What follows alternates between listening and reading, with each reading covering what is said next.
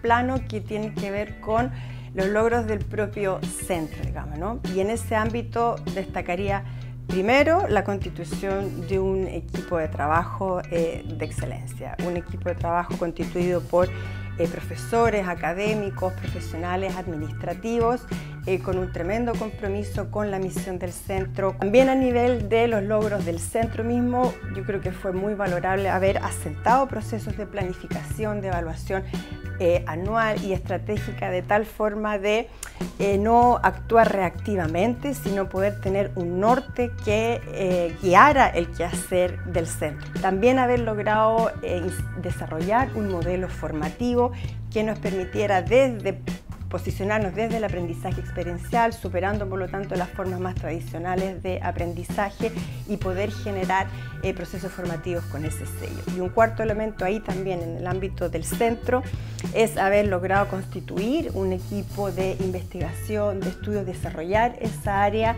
de tal forma de poder aportar a la generación del conocimiento desde la formación continua eh, docente. A nivel de la universidad, yo diría que el gran logro del centro fue haber impulsado y ser promotor del proceso de eh, visibilización eh, y revalorización de la educación eh, continua, que logró finalmente que la educación continua se pudiera posicionar en la universidad como un nivel formativo más, que la educación continua quedara en el proyecto de desarrollo institucional de la universidad que justo el 2017 se estaba elaborando. tercer ámbito de logro yo diría que es que fue en ese momento haber eh, consolidado y avanzar en líneas estratégicas de la política pública en ese momento. Y desde el ámbito internacional, los grandes logros fue también poder eh, consolidar y avanzar en los proyectos que se venían eh, desarrollando anteriormente en El Salvador, en Perú, pero también poder desarrollar eh, un trabajo muy estrecho con la UNESCO, con la oficina regional en diversos ámbitos,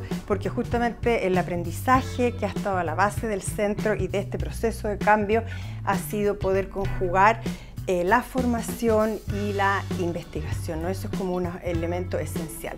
Eh, y tanto así es que justamente eh, una bajada de título, por así decirlo, del centro justamente es aquello, ¿no? es la reflexión y la formación para la transformación.